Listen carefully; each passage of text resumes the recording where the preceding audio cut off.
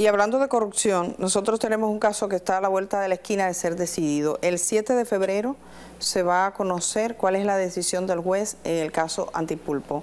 Es un caso relevante, probablemente uno de los más relevantes que tenemos en materia de corrupción en República Dominicana.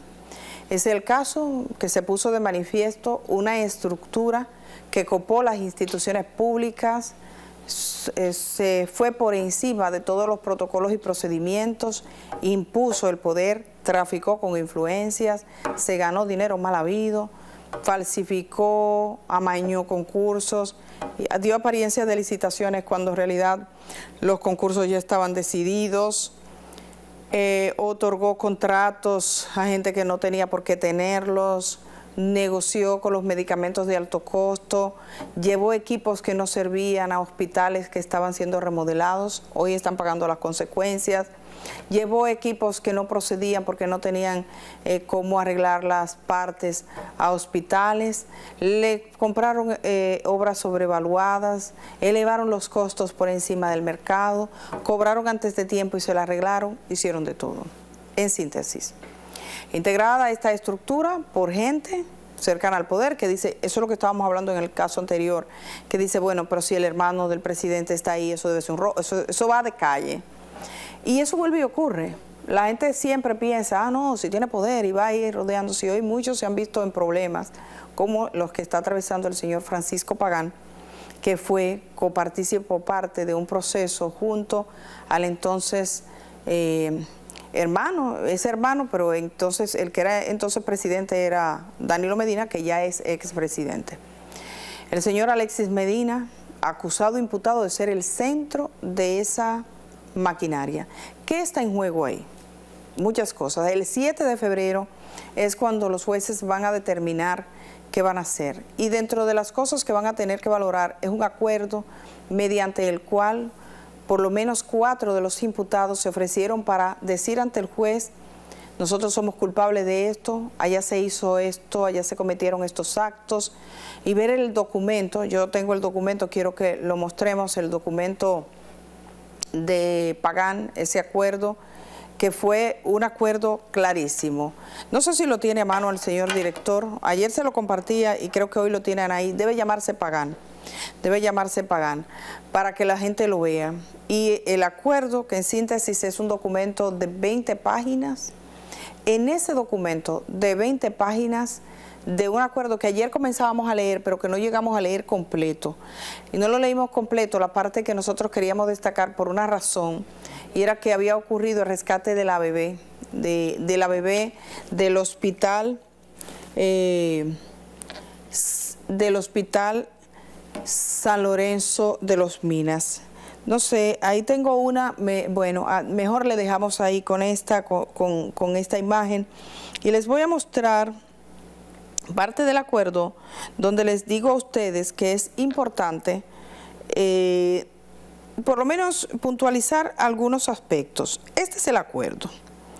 El acuerdo eh, que lo estoy compartiendo, lo estoy recordando, ayer lo compartí como PDF, tiene 20 páginas. Y entonces nosotros estábamos leyendo una parte, no llegábamos a cumplir la meta completa, pero sí quiero ir a la página número me le voy a decir, la página número 15. De, entre las cosas que devuelve el señor Pagán está, devuelve, aquí tenemos, dice, ordenar el decomiso en favor del Estado Dominicano del inmueble el número y ahí dice una superficie de 481 metros cuadrados en la parcela apartamento 14A del decimocuarto del inmueble ubicado en residencial Alco Paradiso tercero que está en el sector, sector La Esperilla del Distrito Nacional.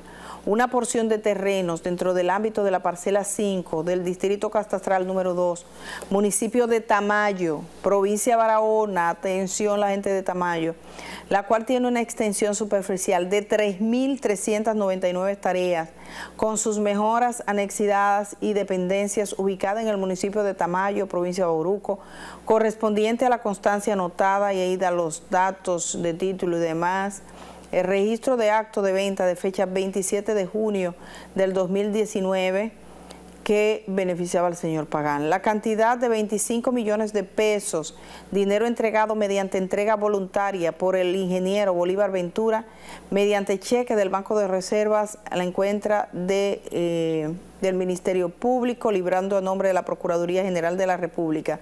Un dinero que fue entregado por Francisco Pagán como adelanto a la compra de una planta de agregados, propiedad de la empresa Cedenza, ubicada en Orégano Chiquito, Distrito Municipal Tabarabajo, Azoa de Compostela. Compra esta que el imputado Pagán no pudo completar por el inicio de las investigaciones del caso Antipulpo. Sigue adelante, estamos en la vaina número 16, la suma de 4 millones de pesos depositado mediante cheque de administración emitido por la Asociación La Nacional, tan, tan, tan, a favor de la Procuraduría General de la República y que fue hecho por entrega voluntaria por el señor Francisco Pagán Rodríguez en restitución al Estado Dominicano de los fondos obtenidos de manera ilícita y utilizados para comprar el apartamento 6B, sexto nivel del residencial Alco Paradiso la suma de 2 millones de pesos también que fueron devueltos. Seguimos en la página número 17, eso eran para pagar también ahí. La suma de un millón de pesos también. La suma de otro millón 375 mil pesos devuelto voluntariamente. La suma de 800 mil pesos devuelto voluntariamente, cheque del Estado. Un vehículo eh, tipo jet, marca BMW, y ahí dice modelo 2017 y ahí da todo color blanco, que este juzgador ordene la justa reparación del daño causado por el acusado, quien reconoce la calidad de víctima en virtud de la querella penal en constitución en actor en parte civil, representada por el Estado Dominicano. Ahí tiene por el equipo de recuperación, de, que es el equipo que puso el Estado para recuperar los bienes o sea, hay un equipo de abogados designados por el Estado que están trabajando para recuperar bienes. Este sería el caso más simbólico de más recuperación pronta por los acuerdos a los que se llegaron. En virtud de este acuerdo, bueno, pues eh, toman posesión de esto, que este tribunal ordene el levantamiento de las oposiciones solicitadas por el Ministerio Público que pesan sobre el inmueble identificado, apartamento 6B del residencial Alco Paradiso, eh, tan, tan, tan, tan, y otras medidas más. Esto fue firmado el 14 de enero del 2023. Se lo firma el imputado o acusado Francisco Pagan Rodríguez, sus abogados que son Luz Díaz Rodríguez, por los abogados Cristian Cabrera Heredia y Santa Pamela Tavares, defensa técnica de Francisco Pagán Rodríguez, José Antonio Rodríguez Hilario en representación de los creyentes y actores civiles. Y Wilson Manuel Camacho, procurador adjunto, titular de la Procuraduría Especializada de la Corrupción PETCA. Hay un, un refrán que, que dice que nadie aprende en cabeza ajena una frase, porque no es un refrán, nadie aprende en cabeza ajena. Eh, la, corrupción en, en, el Estado, y la corrupción, digamos, en la sociedad humana es histórica. Desde el principio, Caín engañó, mató a Abel. Desde el principio, la gente hace cosas fuera de, como de las normas, de lo que usted dice, para la sana convivencia. Pero la corrupción estatal tiene su, descripción, corroe los cimientos del Estado. Se presta para hacer negocios, se presta para que un grupo se enriquezca, se presta para todo y saca, le quita, le drena los recursos públicos necesarios para solucionar a la gente. Pero además le hace pensar, por ejemplo, a los empleados públicos, que ser decente está fuera de liga, que ser decente está contrario a lo que se demanda. Por ejemplo, la encargada de ventas en este expediente, la encargada de compras, perdón, del Ministerio de Salud Pública que se negó a firmar un contrato porque no correspondía, porque había documentos falsificados y eso le costó que fuera removida de su cargo. Eso se manda una señal. De ahí la importancia de este proceso. Así que lo que está en juego el día eh, en que se va a conocer esta decisión, que es ya febrero, lo que está en juego es muy relevante. De si este país es capaz de mirarse en ese espejo y mirar esta, este tipo de situaciones, porque cuando se habla de que alguien devuelve, comienza a devolver, llega a acuerdo y dice, sí, yo reconozco, yo reconozco, yo devuelvo, ya ustedes saben lo que está pasando ahí. O sea, yo he visto que hay gente que se ha opuesto dentro del proceso a se ha puesto a los acuerdos porque los acuerdos describen, le permiten al Ministerio Público saber lo que ocurría.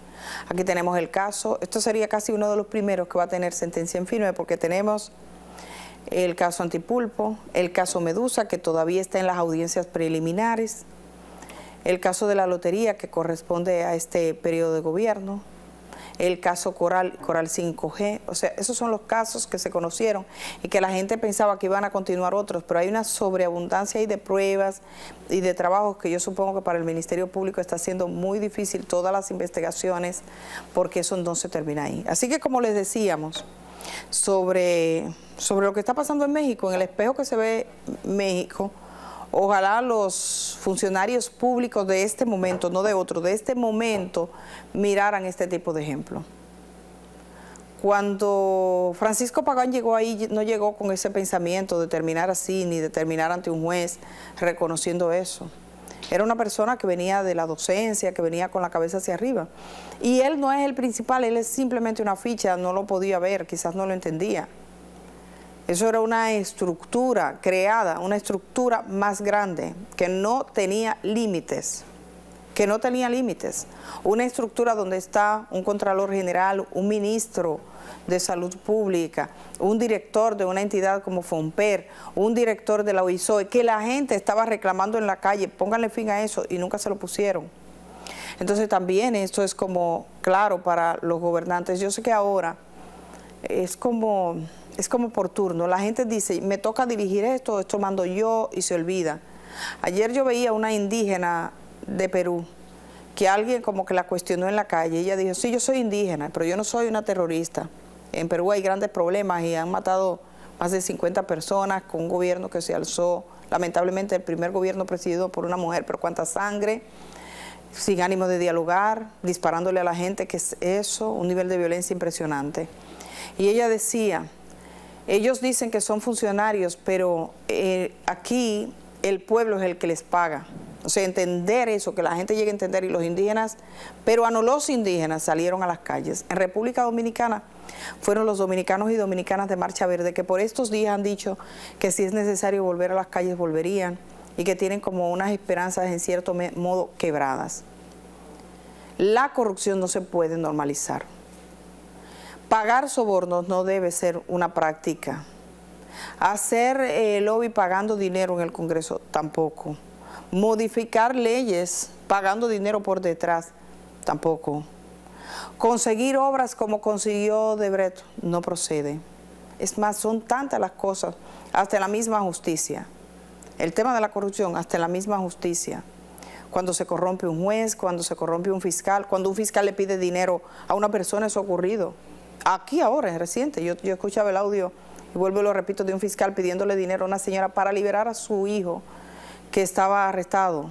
O sea, no importaba si era inocente o era culpable, él lo que necesitaba era dinero.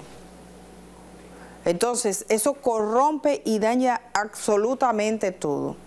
El gran reto de nuestros países, y creo que salía ahora también en la CELAT, y de la democracia, es combatir la corrupción que no prevalezca la impunidad, porque si hay impunidad, es como llamando a los demás diciéndole, esto se puede, esto no pasa nada, vengan por turno, eso por turno.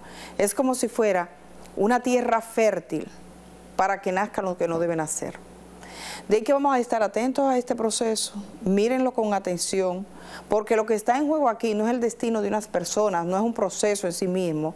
Es decir, si la República Dominicana es capaz de juzgar a gente que vaya más allá del ladrón famélico o del delincuente común, sino a gente que tenga verdadero poder, donde se pone a prueba si la diosa Temis tiene una cosa en los ojos realmente tapados y le da a cada cual lo que le toca, es si le llevan casos y es capaz de dar a cada cual lo que le toca, no más ni menos, lo que le toca, no importa el apellido que tenga ni la posición que haya ostentado.